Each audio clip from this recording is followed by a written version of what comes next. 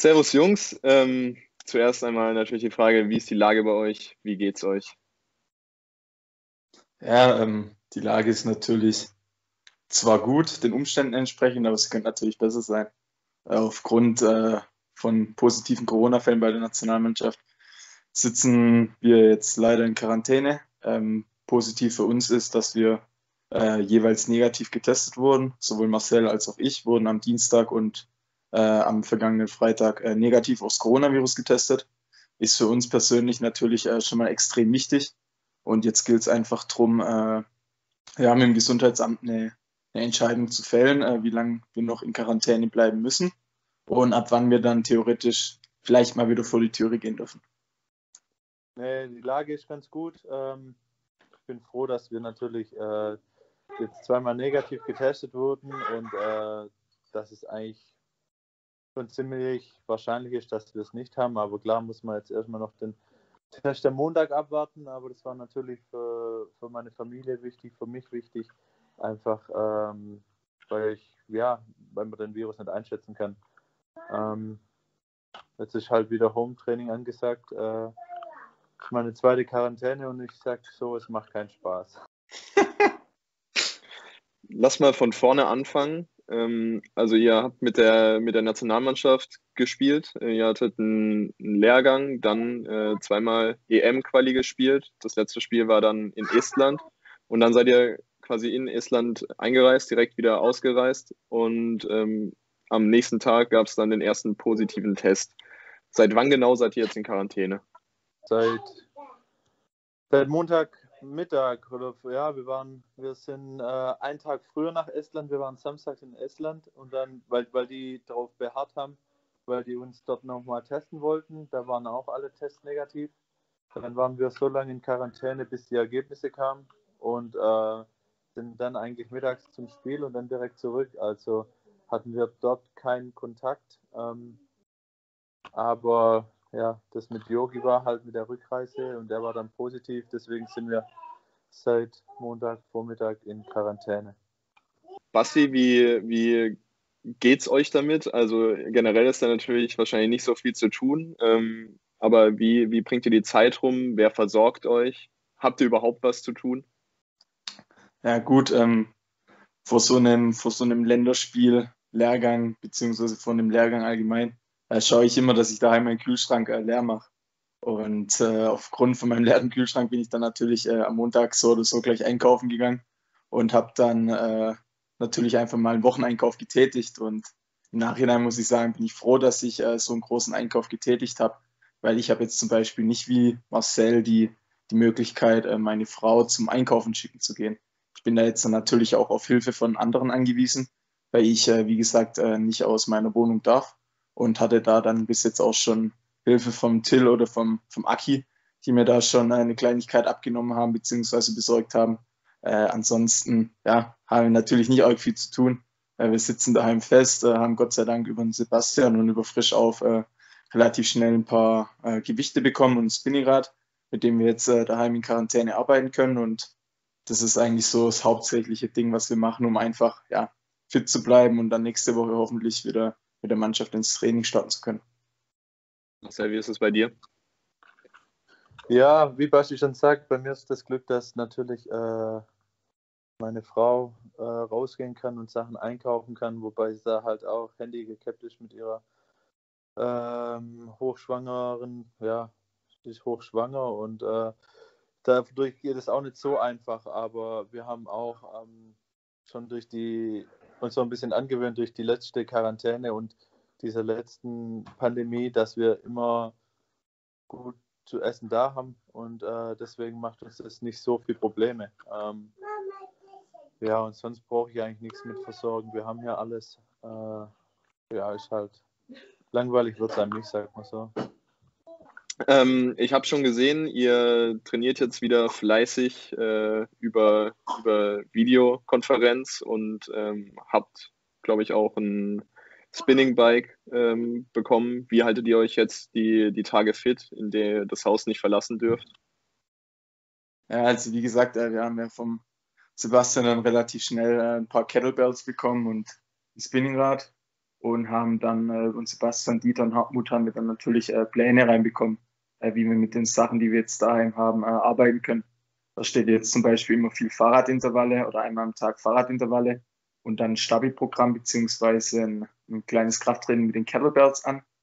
Oder zum Beispiel am Donnerstag, äh, als die Jungs am Morgen ein Krafttraining hatten, äh, haben wir dann zusammen mit Sebastian äh, Zoom-Stabi-Training gemacht gehabt. Und äh, da wird uns dann, glaube ich, aktuell auch äh, allzu langweilig daheim. Also wir haben dann trotz des Eingesperrtseins äh, recht gute Möglichkeiten, äh, ja, uns fit zu halten und einfach zu trainieren. Ähm, Marcel, du hattest es vorhin schon angesprochen. Für dich ist es jetzt tatsächlich schon die zweite Quarantäne. Also die letzten zwei Nationalmannschaftslehrgänge sind leider in der Quarantäne geendet.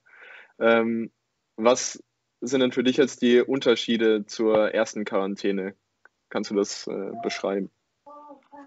Ja, ich glaube, beim ersten Mal war es natürlich schon so, äh, was ist jetzt los? Ähm, vor allem waren wir halt eine Woche beim Lehrgang und in der Woche ist sehr, sehr viel passiert. Da wurden dann die ersten Spiele abgesagt, ähm, die ersten Läden wurden geschlossen und so weiter. Und ähm, jetzt hat man sich natürlich schon immer mit diesem Thema beschäftigt, was passiert, wenn man einen Fall hat und so weiter, Quarantäne.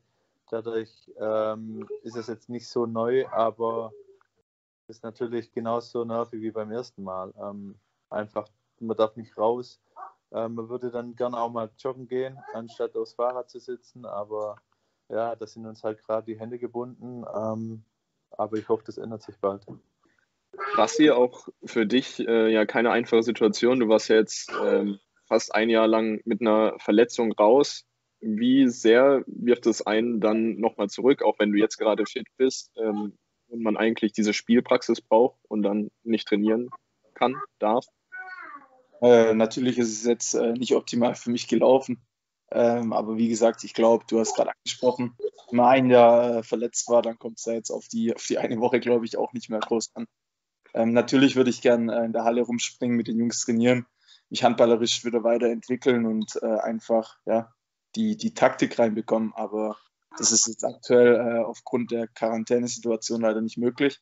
Äh, aber wie gesagt, wir haben hier gute Pläne, ähm, wo wir jetzt, glaube ich, äh, vor allem ausdauertechnisch äh, nochmal einen Schritt nach vorne machen können.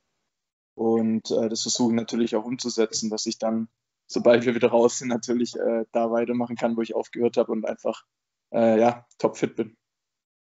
Ihr seid ja Profisportler, also Handballspielen ist euer Beruf. Was ist das für ein Gefühl für einen Profisportler zurzeit, seinen Job nicht so auszuführen, wie es eigentlich äh, sein müsste?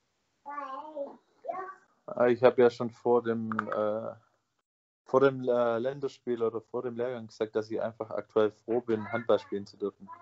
Ähm, weil ich glaube, das geht jedem so, der in der Bundesliga spielt oder keine Ahnung, welche Liga. Ähm, das so sein Hobby zum Beruf machen oder sein Hobby generell äh, auszuleben, ist natürlich mit das Wichtigste. Ich meine, wir, wir sind seit, keine Ahnung, wie viele Jahren spielen wir Handball und das fehlt natürlich einem, wenn man, wenn man da ein paar Tage, ein paar Wochen, ein paar Monate raus ist.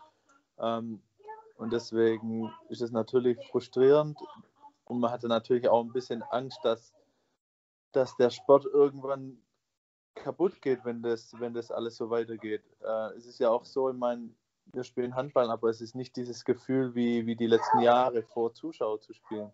Ähm, das ist natürlich auch nochmal eine ganz andere Situation, aber damit muss man jetzt irgendwie in nächster Zeit erstmal klarkommen, aber man hofft natürlich, dass sich das so schnell wie möglich wieder ändert. Ähm, genau, Marcel hat es ja gerade schon angesprochen. Basti, wie verändert so eine leere Halle ähm, dein Job? Also welchen Einfluss hat sowas ähm, auf deine und auch auf die Teamleistung, wenn da keine Fans da sind, die einen nach vorne, nach vorne peitschen? Ich glaube, äh, das ist natürlich äh, schon enorm. Ähm, mittlerweile kann man nicht mehr von, von Heimvorteil sprechen. Ich glaube, wir haben jetzt zum Beispiel noch vor ein paar Wochen in Magdeburg gespielt gehabt, wo knapp über 2000 Zuschauer da waren. Die haben ordentlich Stimmung. Das aber jetzt vergleicht äh, zum Beispiel zum ERF-Pokalfinal vor, als sie dort gespielt haben oder in den Jahren vorher, als die Halle in Magdeburg völlig ausgekauft war. Da kommt von außen so viel Druck aufs Feld, äh, so eine Stimmung. Das macht natürlich echt brutal viel aus. Und das Gleiche ist auch bei uns in Göpping. Äh, dadurch, dass unsere Zuschauer nicht mehr da sind, kann man mittlerweile nicht mehr von Heimvorteil sprechen. Ähm, deshalb ist äh, gefühlt jedes, jedes Spiel klar, man hat noch die eigene Halle, aber unterm Strich findet es theoretisch auf neutralem Boden statt, wo keiner mehr aufgrund der Fans einen Vorteil hat. Mhm. Ohne da jetzt ähm, zu politisch werden zu wollen, ähm, inwiefern ist es vertretbar, dass der Profisport im Moment so eine Sonderrolle hat? Also im Vergleich zum Amateursport zum Beispiel? Ja, ich denke, das ist halt, das klingt wieder blöd, aber da geht es halt auch ums Geld. Ich meine, beim Amateursport hängt nicht so viel dran wie beim Profisport. Äh, da gibt es ja, größere Sponsoren, Sky, wo, wo Fernseherrechte hat und so weiter. Und ähm, natürlich ist auch, sind die Etats bei Profimannschaften größer als bei Amateurhandball. Das, das klingt blöd und ich finde es auch nicht gut, aber es ist auch schwierig, alles über einen Kamm zu kehren. Und äh, ich finde schon, dass es richtig ist, äh, dass, dass wir weiterspielen. Ähm, ist die Frage, ob es sinnvoll ist, diese Amateurligen erstmal abzusagen oder auch gerade Jugendbundesliga, wenn ich mir vorstelle, einfach, ich bin so in meinem letzten Jahr A-Jugend, so der Schritt, äh, der letzte Schritt so Richtung aktiv und man wird da die ganze Zeit so ausgebremst, ist natürlich auch die Frage, wie viele Spieler das so mitmachen, die dann sagen, okay, ich höre auf oder so. Ähm, ist natürlich auch immer eine Gefahr für den Sport, äh, sowas zu machen. Und äh, ja, ist schwierig. Ein Punkt ist ja auf jeden Fall, dass ähm, im Profisport im Moment einfach auch getestet wird und man damit zumindest ähm, ein bisschen eine Sicherheit hat. Basti, denkst du trotzdem, dass das vertretbar ist, dass man das im Moment weiterlaufen lässt? Ähm, das wäre das, was ich jetzt auch gesagt habe. Marcel hat es ja schon gesagt, dass bei, bei uns Profimannschaften natürlich aufgrund von großen Sponsoren wie viel mehr Geld dahinter ist. Und glaube ich, auch aus dem Grund äh, können wir uns dann mit Kooperation, zum Beispiel auch hier in Göppingen mit der Klinik, äh, können wir es uns überhaupt nur erlauben, so häufig äh, getestet zu werden. Äh, unterm Strich ist es natürlich keine Garantie. Äh, ich habe es schon häufig gesehen, dass ein Test negativ war und einen Tag danach oder zwei Tage später auf einmal positiv und trägt es dann so mit in die Mannschaft. Ähm, natürlich ist es ein Vorteil für uns, so häufig getestet zu werden. Aber eine Garantie, dass man äh, am nächsten Tag immer noch negativ ist, die hat man natürlich nicht. Ja, klar.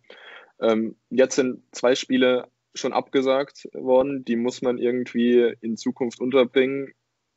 Inwiefern könnt ihr als Profisportler ähm, sowas leisten? Also was, was ist da eure Meinung? Weil der Spielplan wird jetzt natürlich immer enger, immer gestauchter und äh, klar, für den Körper auch immer belastender. Dafür fallen Trainingseinheiten weg, deswegen. nee, ich bin, ich bin generell ein Fan von, äh, von so englische Wochen, finde ich viel besser wie Woche Woche. Ähm, keine Ahnung, klar, ich meine, auf Außen ist die Belastung da nicht ganz so groß wie, wie im Rückraum, aber ähm, mein Körper ist fit, ich, ich vertrage das gut und deswegen habe ich jetzt da keinen irgendwie oder Angst davor, irgendwie eine höhere Belastung zu fahren. Ähm, das muss so sein. Klar ist auch blöd, äh, dass, dass wir das Ganze ausfechten müssen, aber das ist unser Job und wir machen das gerne und ähm, ja, ich finde es gut. Was, wie siehst du das auch ähm, genau in dem Punkt, wenn du, wenn du gerade äh, aus einer Verletzung wieder zurückkommst? Ähm, jetzt hat man ja schon öfter gehört, dass man Profisportler eben auch nicht mit Maschinen gleichsetzen sollte ran. Und natürlich ist es jetzt nicht optimal, äh, wenn man so viele Spiele verlegen muss. Aber ich muss sagen, aufgrund der Sicherheit von jedem Einzelnen ist es deutlich äh, besser, die Spiele zu verlegen, anstatt da jetzt irgendwie ein Risiko abzugehen und dann am Ende vielleicht noch mehr Spiele verlegen zu müssen. Bei uns sind es jetzt mittlerweile schon drei Spiele, die aufgrund von Corona sind es zwei. Äh, wann die gespielt werden, weiß ich nicht zum Beispiel neulich erst gelesen, dass das eine Spiel von Leipzig jetzt sogar schon auf 2021 wird, weil wie du gesagt hast, äh, der Kalender, der wird immer knapper, die Tage werden kürzer, äh, beziehungsweise die Tage werden einfach weniger, weil es äh, dem Saisonende langsam immer näher geht und wie Marcel gesagt hat, dann hat man vielleicht äh, Dilemma, dass man äh, zwei, drei, vier englische Wochen am Stück hat. Ähm, natürlich wird es anstrengend, aber ja, eine lange Vorbereitung, ähm, glaube ich, so gut trainiert. Wir hatten da von Dieter, Hartmut, Sebastian hatten wir echt gute Pläne und Top-Unterstützung, dass wir als Mannschaft, äh, bin ich mir sicher, auch äh, solche Wochen durchstehen können, absolut Limit spielen können. Dann lass zum Abschluss nochmal einen Blick auf die, auf die nahe Zukunft werfen. Ähm, wie geht es für euch jetzt weiter? Wie lange seid ihr in Quarantäne? Ist das schon absehbar? Es wurde mal, am Anfang hat es geheißen, 10 Tage oder zwischen 10 und 14. Ähm, ich gehe jetzt von den 10 Tage aus. Äh, aber ich glaube, der Test am Dienstag ist dann ausschlaggebend. Aber am Montag machen wir nochmal einen Test. Und vielleicht ist dann auch so, dass wir früher raus können, wenn der äh, negativ ist. Aber wir müssen warten, was das Gesundheitsamt jetzt noch sagt und alles. Und äh, wir warten natürlich auf die Anweisungen und ähm, dann sehen wir weiter. Alles klar, dann äh, bedanke ich mich recht herzlich bei euch beiden und äh, hoffe, dass wir euch äh, beide wieder gegen Nordschau dann auf der Platte sehen.